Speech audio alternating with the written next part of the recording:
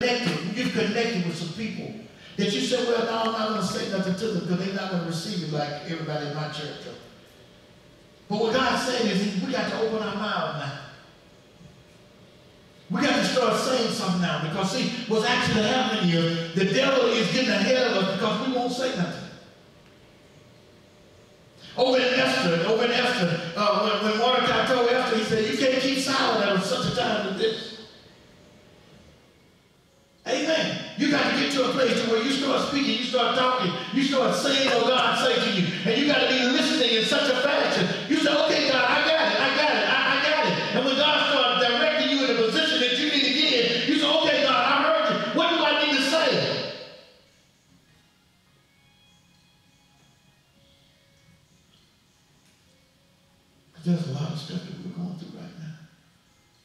We as saints of God cannot be nervous about this thing. Can't be scared. You can't. You can't be scared. And April, you can't just lay hands on folk that say, can you pray for me? You got to pray for some folk that don't want to be prayed for. Yeah, you have to call stuff out for people that don't want to be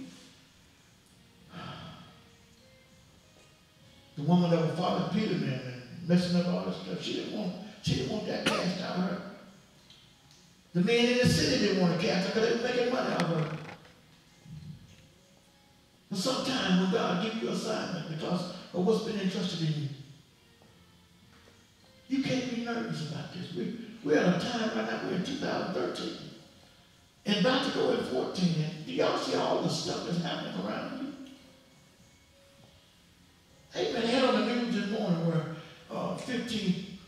boys, 16 year old boys walk down the street and want to knock somebody out. Just walk them in and make.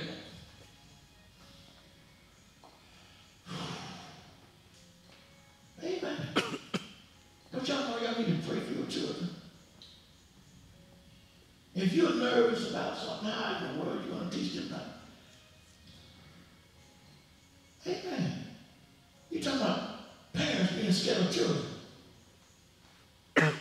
I raised a child to be scared of.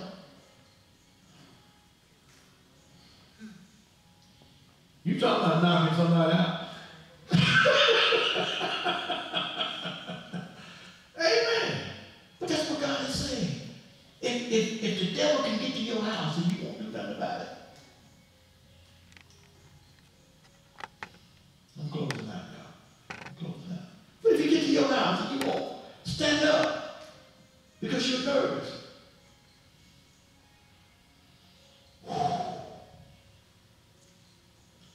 I pray that uh, the messages that God has given us these last few weeks have helped us get to another area. And, I, and, I, this is what I'm praying. I'm praying that in every respect, that we will start reading, we will start studying, we will start praying. We get into another realm of God. The Bible says we are pray without ceasing. I'm talking about we pray every day. Just pray. Because you never know the prayer that you're praying might lead into something else because you need to pray that day. And, you know, how sometimes you're driving and, and, and something hits you, you need to start praying right then and you don't know why. Just, you just need to start praying. There might be an accident up the street. There might be something about to happen before you get out of the car. You start praying at that moment because you really don't know. You don't understand you're going into Dollar General. You think that everything's going to be all right. And somebody comes in Dollar General just to shoot up Dollar General and you're in there and God has already protected you. You might be on your job and somebody just, just, they're going to fire them that day or something go wrong and something happened before they left home. You don't know why you're in this position, but God allowed you to walk in that position because there's an anointing on your life. And because there is an anointing in your life, he let the anointing flow in the building with you. You don't know why that girl came over to you and told you her business that day. You don't, you don't know why. She just stopped at your desk, or she stopped in your place, or stopped in your area, or you was at the water fountain, or you might have been in the bathroom, and she just started talking just to you. You don't understand it. God says, we're in a day right now to where we have to be mindful of what we're saying, what we're doing, and who we're talking to. Because there's so many people hurting right now because they're scared to death. Hmm. It's so many people are hurting right now because they don't know what to do. We've been churching and churching and churching and churching. We've been doing Bible class. We've been doing youth meetings. We've been doing conferences and all. And people are still dying around us because the only people we talk to, the people that we meet in the room with us. What about that person that don't look like you? What about that person again that just walk up to you and you don't like her? She never liked you. What about that person? She talked about you yesterday or day before yesterday, you heard her. And now she comes and she want to talk to you. She might not understand why she's there. But the Bible says in John 6 that Jesus don't draw you, you can't come. You might be the assignment, or she might be your assignment that day. Our children, our children here, Ryan is uh, 16 and, and Jay is 8, I believe, 7 or 8. And, and you know, you never know because what we're teaching them. It might be somebody at school that they need to talk to. They, they, because something been instilled and trusted in them. They might keep that boy from doing what he's doing. Do you understand what I'm saying? But you can't be scared. You can't be scared of this anointing that God has given you. Paul told Timothy, he said, you're in a leadership position now.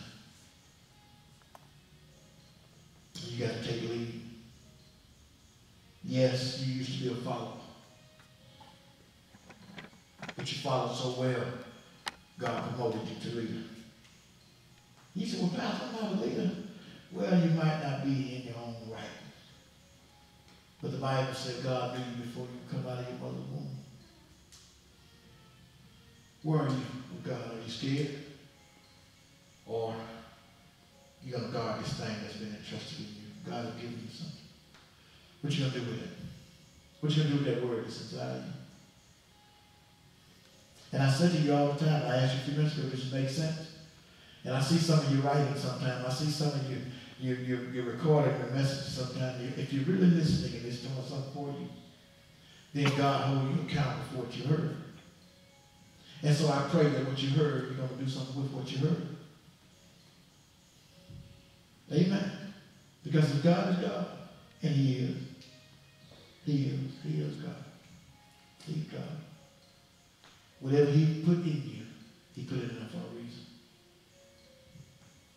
Let us pray. We thank you, Master, now for this day.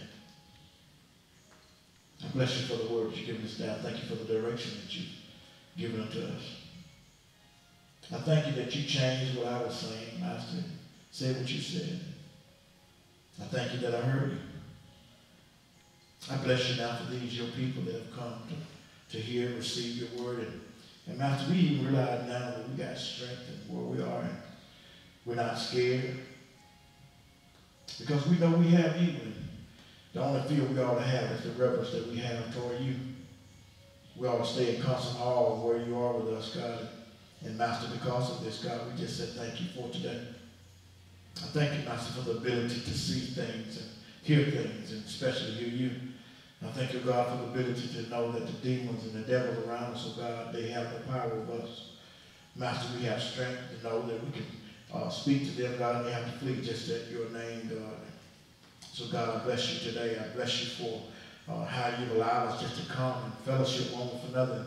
And so, Master, we continue to ask that you just direct our path throughout the rest of this day. I ask, God, now that uh, the service that will be at 2 o'clock in the park, God, we we pray for your availability to, to be there and we'll respond just because your spirit is there. We ask, oh God, that the people will be fed today, oh God, will understand it's you and not us. We ask and pray now, God, that you just bless uh, the leaders, those that's in position, oh God, to, to do what you need to do, God. And continue to ask that we won't just do this in this time. But Master, we'll make ourselves available to what you've given unto us. And so, God, I thank you for this day. I thank you, Master, for this day. Give us traveling grace now. Bless us in every area, God. Bless us through this Thanksgiving Christmas season. To Master, to understand it's not about us getting things, but Master, it's about you. It's about what we feel about you and the fellowship we have with you. We will not be selfish, but Master, we'll be mindful of what you've done for us. And Master, we'll pay it forward. Thank you, God, for today. Thank you for what you're doing today. I bless you, man. It's in Jesus' name. Amen. Amen.